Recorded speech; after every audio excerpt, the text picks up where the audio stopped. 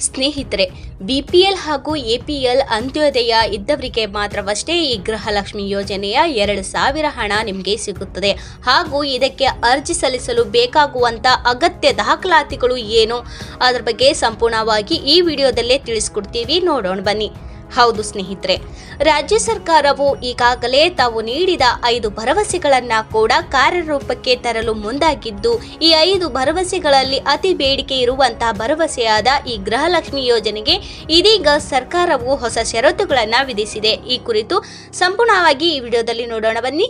ಹೌದು ರಾಜ್ಯ ಸರ್ಕಾರವು ಗೃಹಲಕ್ಷ್ಮಿ ಯೋಜನೆಯನ್ನ ಜೂನ್ ಹದಿನೈದರಿಂದ ಜುಲೈ ಹದಿನೈದರ ಒಳಗೆ ಜಾರಿಗೆ ತರುತ್ತೇವೆ ಎಂದು ತಿಳಿಸಿದ್ದು, ಈ ಕುರಿತು ನೀವು ಕೂಡ ಗೃಹಲಕ್ಷ್ಮಿ ಯೋಜನೆಗೆ ಆನ್ಲೈನ್ನ ಮೂಲಕ ಅರ್ಜಿ ಸಲ್ಲಿಸಬಹುದಾಗಿದೆ.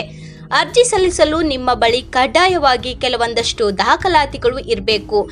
ಈ ಕುರಿತು ಈಗಾಗಲೇ ಸರ್ಕಾರವು ಯಾವ ದಾಖಲಾತಿಗಳು ಬೇಕು ಹಾಗೂ ಅರ್ಜಿ ಸಲ್ಲಿಸುವುದು ಎಲ್ಲಿ ಎಂಬ ಕುರಿತು ಸಂಪೂರ್ಣವಾಗಿ ಮಾಹಿತಿಯನ್ನ ತಿಳಿಸಿದೆ ಹಾಗೂ ಇದೀಗ ದಿಢೀರನೆ ಸರ್ಕಾರವು ಹೊಸ ಮಾರ್ಗಸೂಚನೆಯನ್ನ ಬಿಡುಗಡೆ ಮಾಡಿದ್ದು, ಈ ಮಾರ್ಗಸೂಚಿಯು ನೋಡೋಣ.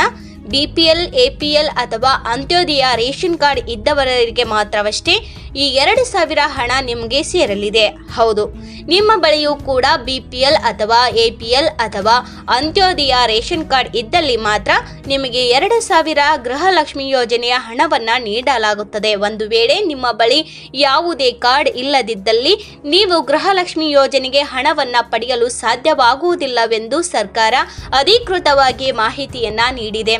ರಾಜ್ಯ ಸರ್ಕಾರವು ಈ ಮೊದಲು ತಿಳಿಸಿದಂತೆ ಬಿಪಿಎಲ್ ಹಾಗೂ ಎಪಿಎಲ್ ಪಡಿತರ ಚೀಟಿ ಹೊಂದಿರುವ ಎಲ್ಲ ಮಹಿಳೆಯರಿಗೂ ಕೂಡ ನಾವು ಗೃಹಲಕ್ಷ್ಮಿ ಯೋಜನೆಯ ಹಣವನ್ನು ನೀಡುತ್ತೇವೆ ಎಂದು ತಿಳಿಸಿತ್ತು. ಈಗಾಗಲೇ ಸರ್ಕಾರವು ಹೊಸ ಮಾರ್ಗಸೂಚಿಯನ್ನ ಬಿಡುಗಡೆ ಮಾಡಿದ್ದು, ಕಡ್ಡಾಯವಾಗಿ ಬಿಪಿಎಲ್ ಅಥವಾ ಎಪಿಎಲ್ ಅಥವಾ ಅಂತ್ಯೋದಯ ರೇಷನ್ ಕಾರ್ಡ್ ಅನ್ನ ಹೊಂದಿರುವವರಿಗೆ ಮಾತ್ರವಷ್ಟೇ ಈ ಎರಡು ಸಾವಿರ ಹಣವನ್ನ ಬಿಡುಗಡೆ ಮಾಡಲಾಗುತ್ತದೆ ಎಂದು ತಿಳಿಸಿದೆ. ಹಾಗಾಗಿ ನೀವೇನಾದರೂ ಒಂದು ವೇಳೆ ಗೃಹಲಕ್ಷ್ಮಿ ಯೋಜನೆಗೆ ಅರ್ಜಿ ಸಲ್ಲಿಸಲು ಮುಂದಾದಲ್ಲಿ ನಿಮ್ಮ ಬಳಿ ಕಡ್ಡಾಯವಾಗಿ ಬಿಪಿಎಲ್ ಅಥವಾ ಎಪಿಎಲ್ ಪಡಿತರ ಚೀಟಿ ಇರಲೇಬೇಕು. ಒಂದು ವೇಳೆ ಇಲ್ಲವೆಂದರೆ ನೀವು ಗೃಹಲಕ್ಷ್ಮಿ ಯೋಜನೆಗೆ ಅರ್ಜಿ ಸಲ್ಲಿಸಲು ಸಾಧ್ಯವಾಗುವುದಿಲ್ಲ.